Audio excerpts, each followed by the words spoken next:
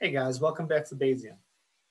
So it looks like I didn't scare all of you off with the very philosophical lecture last time. Uh, so I do appreciate uh, those of you who have um, viewed the lecture. Um, I, I, do appreciate that. I think uh, in general, it works better when there's an audience, when there's more of a back and forth, and not me just staring at myself in the corner, um, uh, you know, reading the slides to you. And I think I, I really want to try and avoid doing that today.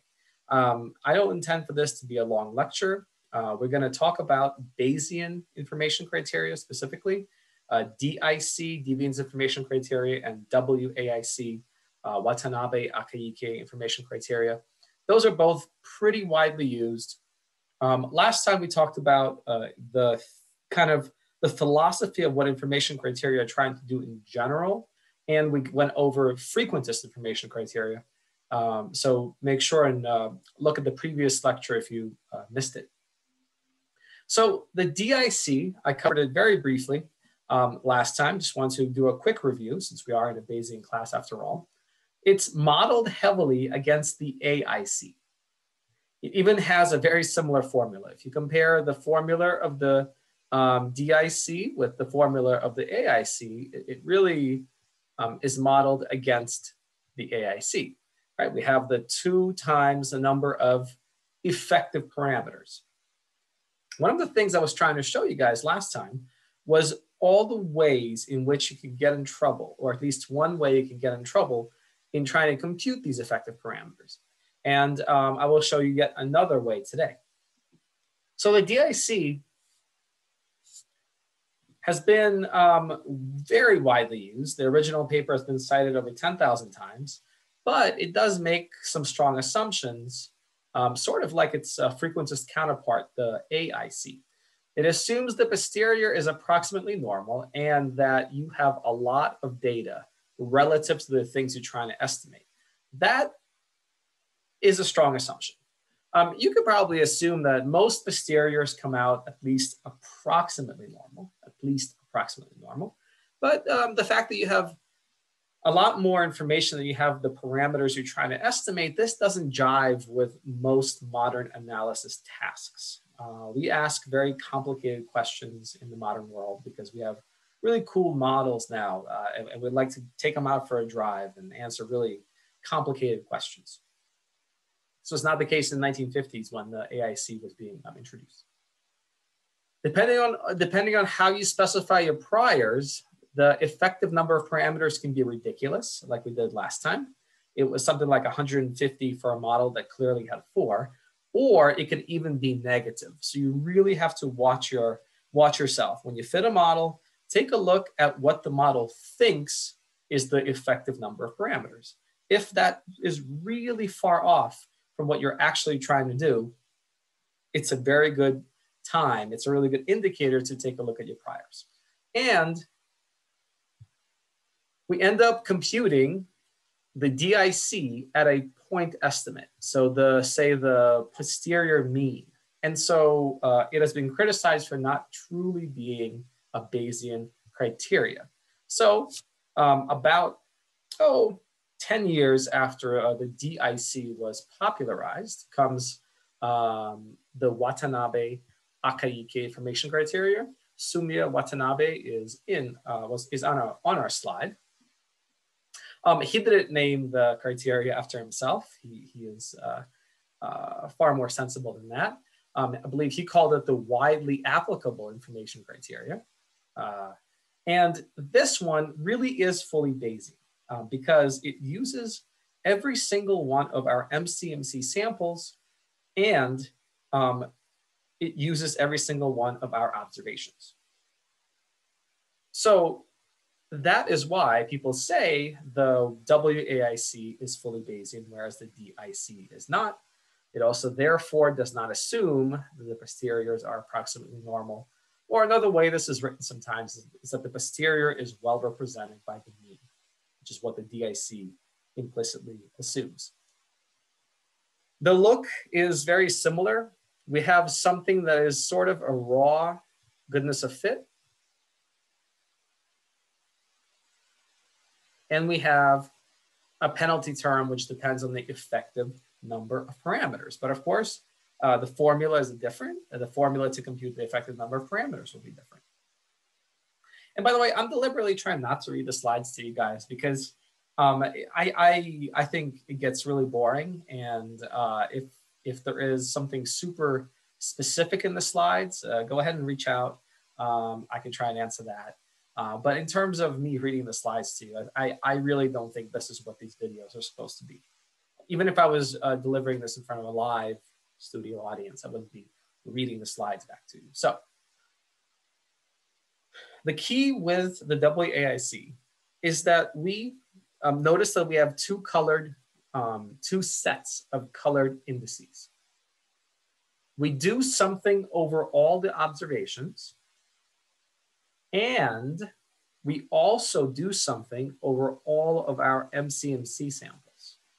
So what we do is we average the likelihood for each observation, right? This is that we average the likelihood for each observation over the entire set, right? So this is the average likelihood for each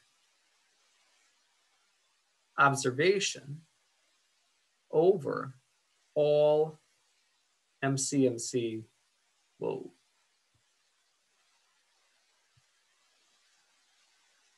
MCMC samples. That just, just does not want to write today. There it is. And then we sum it all up over all n observations. So for each observation, we take an average over our entire posterior, and then we add up the posteriors over all n observations. Remember, um, pretty early on, we figured out how to combine different posteriors together. Um, so this is not that different. But the key is we have a sum and we have an average. And it uses the entire posterior distribution to compute the WAIC, as opposed to the DIC that only uses a single Bayesian point estimate. The number of effective parameters well, it's known to be um, more, more, uh, more stable and is strictly positive, strictly positive because we find a variance of something. Um, if you remember, the DIC effective parameters could be negative, and that doesn't make a ton of sense. This sums up the variances of each of our um, log likelihoods. So the in a WAIC world, the number of effective parameters is tied to uncertainty in our log likelihood. But we have a sum of sums, right? We have a sum here. We have a sum over n here. So again, by the way, uh, again, look at the uh, sort of modeled against model closely uh, on the AIC and the DIC. Smaller values indicate a better, a better model in that uh, a lower out of sample, out of sample error, predictive error, that's why we select uh, models with small DIC and small WAIC values. But one thing that WAIC has that other information criteria don't, and this includes all the frequentist information criteria and the DIC, we get a sum of n things. And therefore, because we have a, a sum of n things, we can compute the standard error of the difference between two um, AICs. We can compute the standard error of the difference between any two WAICs. So um, in a frequentist world, you see people saying, okay, well, here is model one, and my AIC is, you know, a million, uh, a million and five. And then here's model two, and its AIC is a million and I hope that's a million and one. And because the AIC for model two is lower than that of um, AIC of model one, I'm gonna select um, model two. In the WAIC world, you can actually put a standard error on that difference. Is that a difference of four points on this you know, uninterpretable scale? How, and I'm really trying not to use the word significant, but how meaningful is that difference given the uncertainty inherent in the two models? And I'm avoiding the word significant because Dr. Gelman tells us to not treat it like a t-test, not to look at a difference of the two WAICs and go, oh, I know. Uh, if it's greater than 1.96, I call my model significantly better and I can go to sleep happy. Don't do that because asymptotic normality or asymptotic t-distribution is not guaranteed. It has not been shown yet to my knowledge. But that being said, if you can show that your one model is three standard errors better than your other model, then you can say, hey, that's a very big improvement in predictive performance. You can even say, hey, this uh, WAIC is lower, and it's lower by about one standard error. You know what? One standard error difference where the WAIC is lower is nothing to sneeze at. If you're building um, a bunch of models and they're all different by say within 0.1 standard errors, it really doesn't matter. They're all essentially equivalent. Remember, the uh, different model specifications can lead to essentially the same predictive performance. So if you have a bunch of models that are virtually identical, the difference in the WAICs is, you know, I don't know, within half a standard a standard error or thereabouts. I don't know. Go and pick. Go ahead and pick the one that's most interpretable. Go ahead and pick the one that uh, has the greatest scientific meaning. You know, you don't have a ton of evidence to say, "Hey, I'm going to pick this model because it is just expected to be so much better in a predictive sense." So WAIC can actually find the standard error of the difference between two information criteria. It is not a silver bullet not a silver bullet. It is still just an approximation of cross-validation error. It will give you a warning if one of those variances, if one of these variances is greater than 0.4. And we'll see that in just a second. Um, and, and, that's because it's been shown that uh, the, the effective number of parameters formula can fail. If that's the case, um, in my experience, it hasn't caused uh, any sort of meaningful difference in interpretation, uh, but I can't speak, uh, you know, for every possible uh, analysis out there. Implicitly, because we sum over observations, right? Look, we sum over observations here. We sum over observations here. We implicitly assume that conditional on the parameters, our observations are independent. Conditional on the parameters, our observations are independent. I'm aware that there is work happening to apply the WAIC to spatial and temporal data that are inherently correlated. So there's some question as to how accurate the WAIC is uh, in spatial and spatiotemporal and time series analysis. And uh, our fine author, Dr. Gelman, uh, writes in this paper that uh, he and his team are frustrated because all existing inform information criteria have their flaws. So I hope that the last two lectures, if they if you've taken away nothing, is learn about the information criteria and select one you can live with. If, if you're in a Bayesian world, the WAIC is tending to be the default. But if you're dealing with a spatial data set, if you're dealing with a time series analysis, um, pause. Doesn't mean it's invalid, just pause. And uh, maybe go out on Google Scholar and see how others have treated WAIC it, with correlated data. If you don't have correlated data, the WAIC is a really, really good way to go. It makes fewer assumptions it makes fewer assumptions, whereas my first slide makes fewer assumptions than the DIC does. It's fully Bayesian, and it gives you a standard error of the difference. So it serves as a really nice default if you have uncorrelated data or data that are uncorrelated conditional on, on the parameters. So I have a, a, sort of an example here. I will leave it uh, to you guys because I, I don't want to read off the slides. I will, however, flip into R and show you some things about some cautionary tales about how information criteria and effective parameters behave. Remember, in a frequentist world, there are no effective parameters with the exception of multi-level models. But there are no uh, effective parameters with the kinds of models we've dealt with.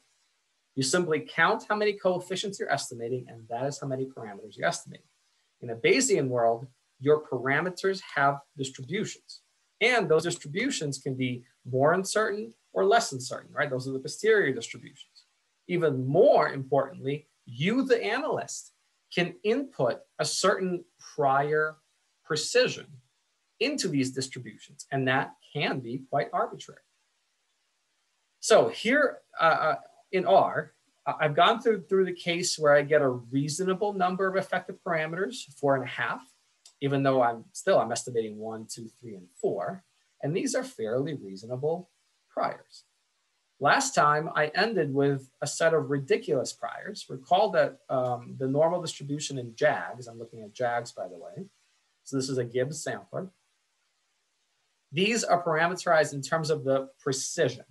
So this is actually a teeny tiny prior standard uh, variance, excuse me.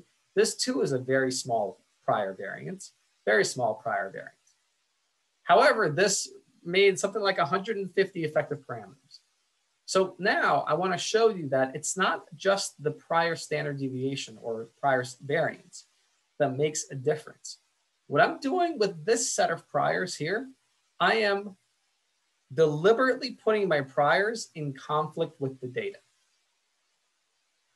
I'm not quite invalidating my data because I still have enough observations in this heights data set uh, that my likelihood overwhelms my priors. I have enough data to sort of update my priors sufficiently to get the right answers. But data tells us men are taller than women and that weight is positively associated with height. These are very reasonable and expected results. But look what I'm doing. Here is the weight coefficient. I am setting a normal prior where the mean is minus 10. I'm deliberately putting it, er, reversing the, the sign there. And here is the male uh, kind of dummy variable coefficient. Should be positive because men are taller than women on average.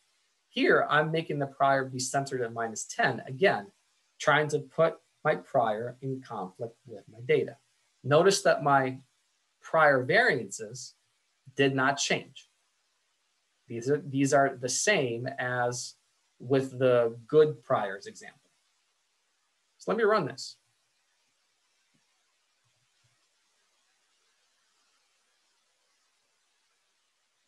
All righty nice and quick. Very cool. All right, so I've taught you to look at the R hats. I've taught you to look at the uh, trace plots. I've taught you to look at the effective sample sizes, the trace plots, chubby caterpillars, that's a thumbs up. R hats, all near one, that's a thumbs up. Effective sample sizes, all very healthy, uh, except for maybe this one, still over a thousand, that's a thumbs up. Those are three thumbs up. We're doing great, right? Except JAGS claims that we're trying to estimate 7.9 effective parameters, where I can count on one hand, I'm estimating one, two, three, four.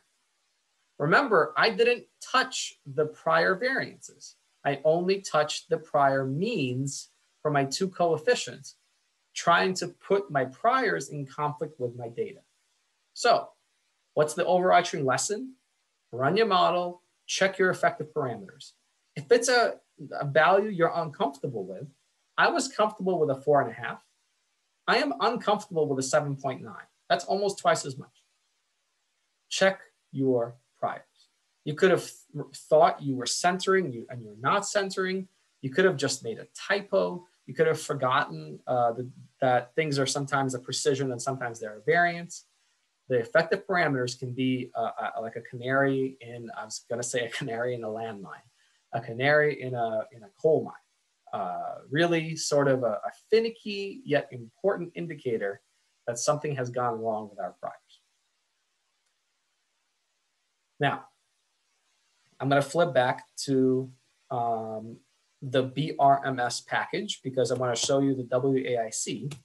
Um, interestingly, the team that uh, manages STAN and BRMS is a um, uh, essentially a, a, wrapper or a GUI into STAN. They, they are um, quite against DIC as the as the information criteria, and so um, they have made it very difficult to uh, sort of output the DIC from one of their models. So to demonstrate the WAIC, the one that's fully Bayesian, I'm gonna run um, BRMS. Now, of course, there is a way to compute the WAIC from inside of JAGS. But for now, I will just sort of um, focus on uh, understanding uh, what kinds of things affect our Bayesian information criteria and how to compare. So we're still back to the height example, nice and simple example because we're focusing on information criteria, reasonable priors. This first model is just includes weight.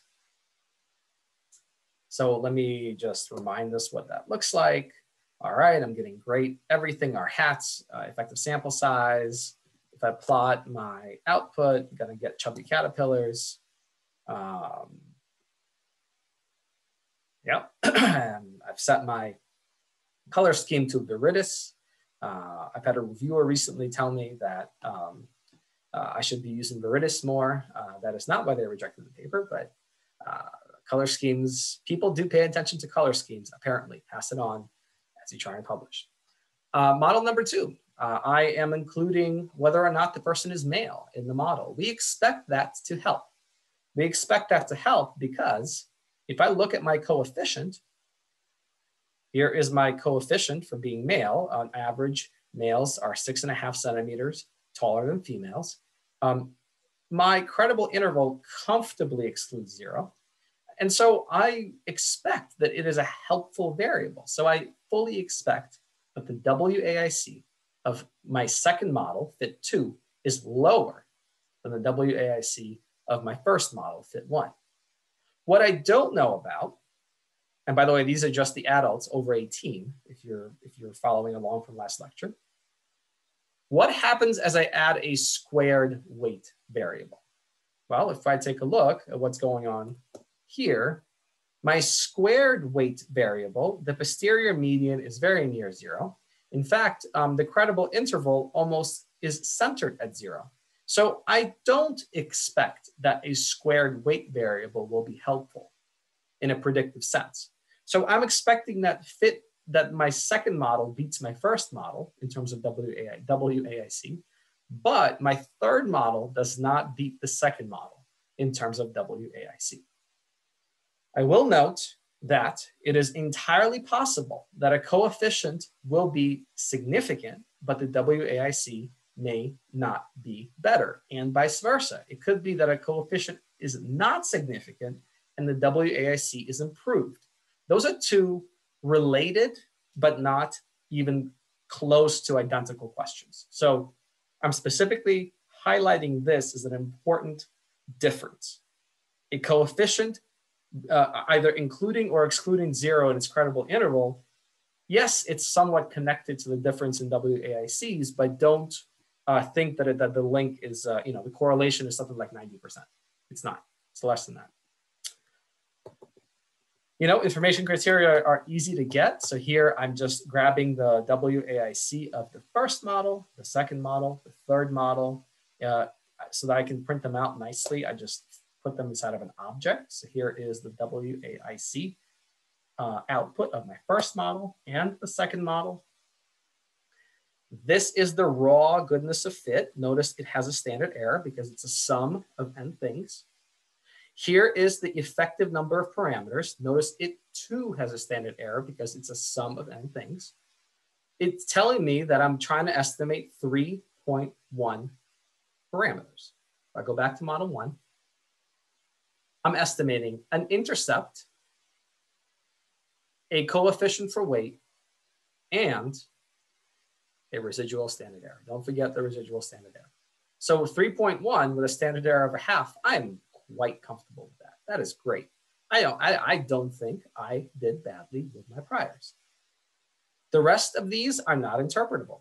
There is not a, a meaningful set of units according to which I can interpret the WAIC or the uh, kind of raw goodness of fit. But look at the fact that everything has a standard error. Here is the output from model two.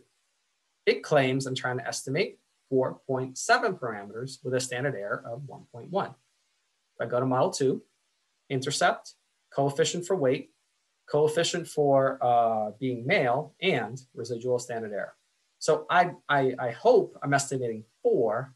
It says it's 4.7, it's a little high, but still four is well within one standard error of my estimate. So I'm happy with this as well. If we just compare WAICs sort of in the raw, we get 2148 versus 2027, we would pick model two over model one. This is a seems like a fairly large difference. But remember, oh, also look, it tells us that one of our variances, one of our variances was greater than 0.4. And so it tells us to be cautious. Um, it's only for one observation. If this were the case for, say, a third of our sample, I would be worried. It's for 0.3% of our sample. I'm not worried. Uh, I'm sort of uh, going ahead. Remember that I can compare WAICs and get sort of a standard error for the difference. So here I'm running the comparison between the first and the second WAIC. Looks like the raw difference is 121.06 with a standard error of 21.82. If I compute a, what Dr. Gelman would tell me is not a t-test, but if I compute a pseudo not a t-test test statistic, I would do something like 121.06 divided by 21.82 which is 5.5. So that is the difference in the WAICs between these two models is about five standard errors. Or the way I put it here, model two gives us a five standard error improvement in WAIC after we add whether or not the person is male. That's big, 5.5 standard errors, that's huge. Absolutely huge uh, on any scale whether or not the normal approximation holds, whether or not the t approximation holds. Um, no, uh, you know, we're not going to go ahead and find the p-value right now and, and reject the null hypothesis, but we can say that we have about a five standard error improvement by adding a single variable. All right, we're going to high five each other and we're, we're good to go. Model two is the way to go. Let's compare model two and model three. Here's the WAIC for model two here's a WAIC for model three. You can see that the WAIC actually increased when we added quadratic weight. And um, in that case, you know, if the WAIC increases, I don't even really care what the difference that, in that standard error is. Uh, but if I did, it's actually non-trivial, uh, right? Look, the standard error of this difference is 0.34, and the difference in WAIC is two. So that's a, that's a fairly you know, uh, meaningful difference. And that is the WAIC for Model 3 is meaningfully worse than that of Model 2. So I'm not going to go with Model 3. A quadratic is not necessary. You may have noticed that I've sort of disregarded this warning that compare IC is, is uh, deprecated. And so I just wanted to show you that um, if we use this loo underscore compare, we get essentially the same output and the same conclusion about a uh, you know about a six standard error difference in in between models one and model two and um, uh, you know a, a, far smaller difference between model two and model three. this um, basically concludes uh, our information criteria, um, uh, a unit. It, it I think I, I, have said a lot. Uh, you guys are ready to, to fit some linear models and select one that seems most appropriate. Um, you know, look out for a homework assignment uh, before uh, the end of the weekend. And uh, yeah, thank you for you guys' attention. Um, hope you all safe. I'll talk to you later.